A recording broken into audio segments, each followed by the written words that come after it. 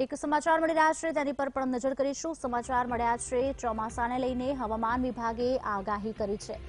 આપને જણાવીએ, સતત ત્રીજા વર્ષે ચોમાસું સામાન્ય રહેવાની આગાહી કરાઈ છે. ચાલુ વર્ષે સત્તાણું ટકા વરસાદ પડે તેવી શક્યતા દેખાઈ રહી છે. આપને જણાવી દઈએ, ચોમાસાને લઈને હવામાન વિભાગે આગાહી કરી છે. સતત ત્રીજા વર્ષે પણ ચોમાસું સામાન્ય રહેશે અને ચાલુ વર્ષે સત્તાણું ટકા વરસાદ પડે તેવી શક્યતા હાલ વર્તાઈ રહી છે. આજ અંગે વિગત આપશે અમારા સંવાદદાતા મેહુલ દેસાઈ. જોડાયા છે. મેહુલ, શું વિગતો પ્રાપ્ત થઈ રહી છે? હવામાન વિભાગ શું કહી રહ્યું છે?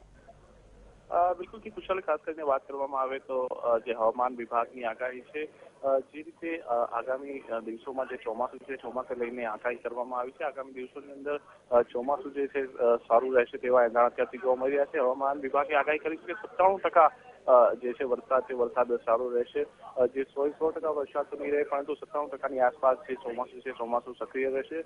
સમગ્ર પશ્ચિમ ભારત ઉત્તર ભારત સહિત મધ્ય ભારતની અંદર સમગ્ર ભારતની અંદર જ્યાં સુધી વાત કરવામાં આવે તો સત્તાણું ટકા જેટલું હવામાન છે, એટલે ચોમાસું છે, ચોમાસું સારું રહેશે. એટલે એક જોતા અત્યારે જે ચોમાસું, જે ઉનાળો છે, ઉનાળા બાદ જે ચોમાસાની સ્થિતિ છે, એટલે એક સારા સમાચાર ચોક્કસથી ખેડૂતો માટે કહી શકાય. આભાર, મેહુલ, સમગ્ર માહિતી આપવા બદલ.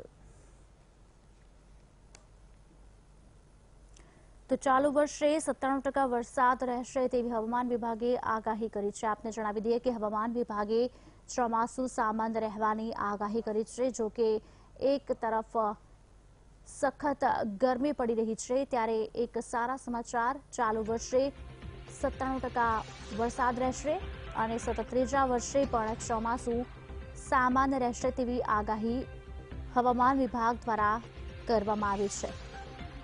આપને જણાવી દઈએ કે એક તરફ ઉકળાટ ભરેલી ગરમી પડી રહી છે. તો ચોમાસાને લગતા જ સમાચાર સતત ત્રીજા વર્ષે પણ ચોમાસું સામાન્ય રહેશે.